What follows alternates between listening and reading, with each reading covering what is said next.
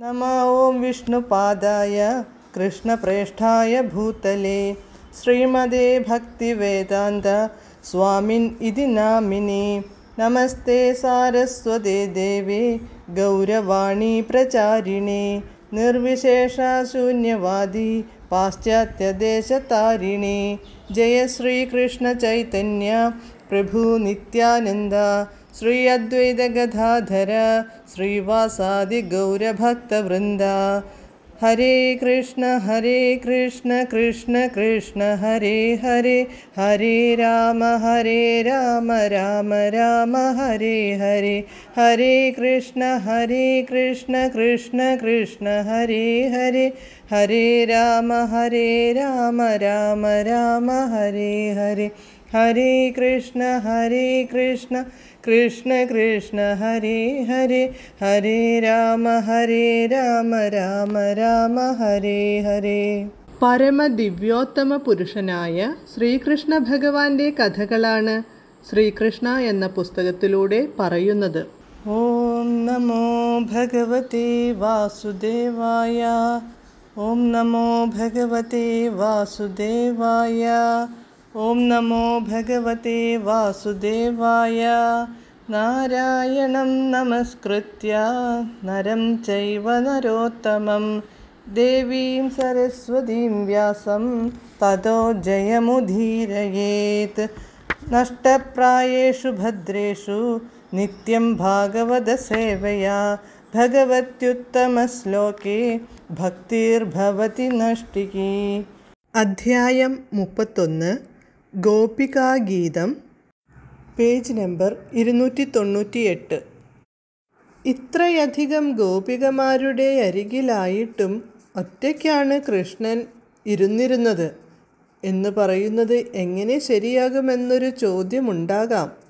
ഇത് സംബന്ധിച്ച് ഭഗവത്ഗീതയിൽ ശ്ലോകത്തിൽ പ്രധാനപ്പെട്ട ഒരു പദമുണ്ട് ഈശ്വര സർവഭൂതാനാം. എല്ലാവരുടെയും ഹൃദയത്തിൽ പരമാത്മരൂപത്തിൽ കുടികൊള്ളുന്ന സർവാധിപതിയെയാണ് ഈശ്വരൻ എന്ന് ഇവിടെ പറഞ്ഞിരിക്കുന്നത്. ഗോപിമാരുടെ ഈ സമ്മേളനത്തിൽ കൃഷ്ണൻ തന്റെ പരമാത്മരൂപത്തിലുള്ള വികാസമാണ് പ്രകടമാക്കിയത്. കൃഷ്ണൻ ഓരോ ഗോപികയുടെയും അടുത്തുണ്ടായിരുന്നു. മറ്റുള്ളവർ കാണാതെ യൗകിക ധ്യാനത്തിൽ ഏറ്റവും ശ്രേഷ്ഠമെന്നു കരുതപ്പെടുന്ന രീതിയിൽ ഗോപികമാരുടെ ഹൃദയത്തിലിരിക്കുന്നതിനു പകരം അവരുടെ സമീപം ഇരിക്കാനുള്ള ഔദാര്യം കാണിച്ച ഭഗവാൻ എത്രയോ ദയാലുവാണ്. ഹൃദയത്തിനു വെളിയിൽ ഇരിക്കുക വഴി അദ്ദേഹം സൃഷ്ടികളിൽ വച്ച് ഏറ്റവും സുന്ദരികളായ ഗോപിമാരോടു പ്രത്യേക സൗജന്യമാണ് കാണിച്ചത്. തങ്ങളുടെ ഏറ്റവും പ്രിയപ്പെട്ടവനെ കിട്ടിയതിൽ സന്തുഷ്ടരായ ഗോപിമാർ ചില്ലിവില്ലാട്ടം കൊണ്ടും പുഞ്ചിരി കൊണ്ടും അതോടൊപ്പം ദേഷ്യം പുറത്തു കാട്ടാതെയും അദ്ദേഹത്തെ പ്രീതിപ്പെടുത്താൻ തുടങ്ങി. ചിലർ അദ്ദേഹത്തിന്റെ പാതാരവിന്ദങ്ങൾ മടിയിലെടുത്തു വച്ചു തലോടി തുടങ്ങി. പുഞ്ചിരിക്കിടയിലും ഉള്ളിലൊതുക്കിയിരുന്ന കോപം വെളിപ്പെടുത്തിക്കൊണ്ട് അവർ പറഞ്ഞു പ്രിയപ്പെട്ട കൃഷ്ണ വൃന്ദാവനത്തിലെ വെറും സാധാരണ സ്ത്രീകളാണ് ഞങ്ങൾ. വേദജ്ഞാനത്തെക്കുറിച്ചൊന്നും ഞങ്ങൾക്കറിയില്ല. ശരിയും തെറ്റും ഞങ്ങൾക്കറിഞ്ഞുകൂടാ? അതുകൊണ്ടു ഞങ്ങൾ ലളിതമായ ഒരു ചോദ്യം ഉന്നയിക്കുന്നു. സർവജ്ഞനായ നിനക്ക് അതിന് യുക്തമായ മറുപടി തരാൻ കഴിയും. കാമുകന്മാർ മൂന്ന് വിധമാണ്. പ്രേമം സ്വീകരിക്കാൻ മാത്രം തയ്യാറുള്ളവരാണ് ഒരു വിഭാഗം.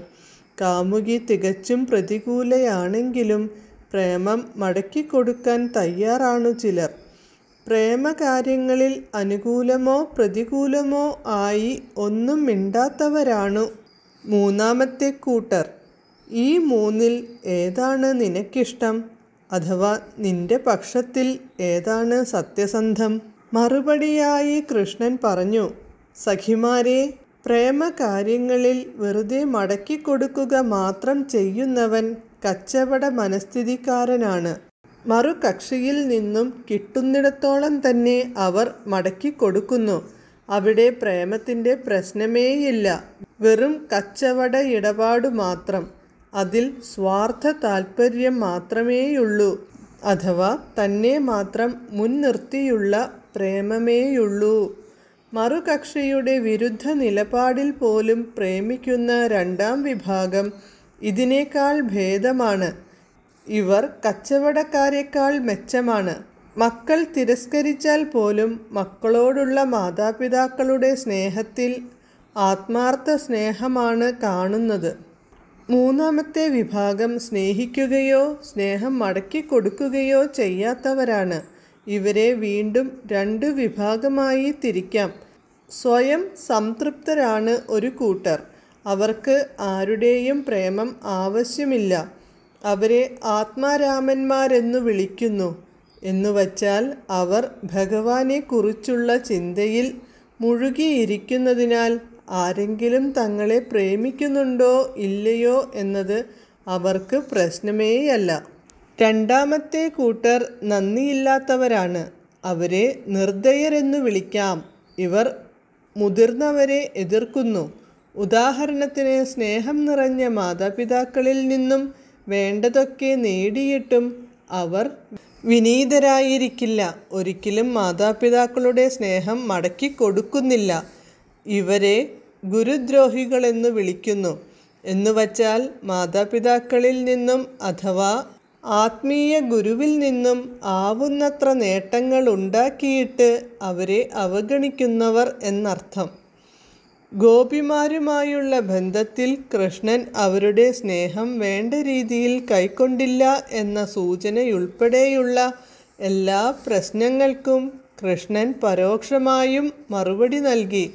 പരമദിവ്യോത്തമ പുരുഷൻ എന്ന നിലയിൽ താൻ ആത്മാരാമനാണെന്നും അദ്ദേഹം വ്യക്തമാക്കി അദ്ദേഹത്തിന് ആരുടെയും പ്രേമം ആവശ്യമില്ല.